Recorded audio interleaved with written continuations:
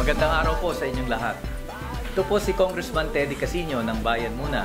Bumabati at nagpupugay sa ating mga kababayan sa ibayong dagat sa inyong pagsisikap at pagpupunyagi na mapaganda ang buhay ng inyong mga pamilya at ng ating bayan.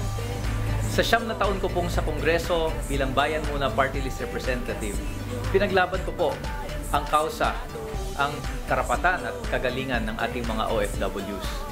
Mula po sa mga di makaturungang singil ng ating mga manpower agencies, pati na ho ng burokrasya, hanggang sa proteksyon para sa mga distressed OFWs.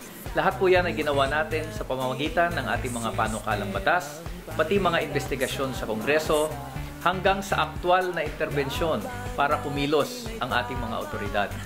Subalit nalalaman natin na ang problema ng mga OFWs ay hindi lang simpleng mga paniningil at uh, kawalan ng serbisyo ng ating mga embahada.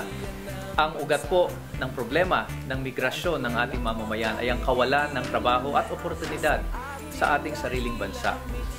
Kaya po tuloy-tuloy ang ating pagsisikap na maitaguyod ang ating agrikultura pati ang ating industriya para lumikha ng mga trabaho at ng mga kabuhayan na bibigay ng sapat na trabaho para sa ating mga manggagawa na hindi na nila kailangang umalis pa ng ating bansa para lamang bigyan ng magandang buhay ang kanilang pamilya. Kaya po, kapag ako'y pinalad na maging senador, isa po ito sa ating prioridad na magkaroon ng tunay na industrialisasyon at tunay na reformang agraryo sa ating bansa nang mabago na ang sistema ng pagpapadala sa labas ng bansa ng ating mga kababayan at kung merong sapat na trabaho at kabuhayan sa ating bansa, siya kung gaganda ang buhay ng ating ng lahat ng Pilipino. So muli po, um, maraming salamat at pagbati po sa ating mga kababayan sa Ibayong Dagat.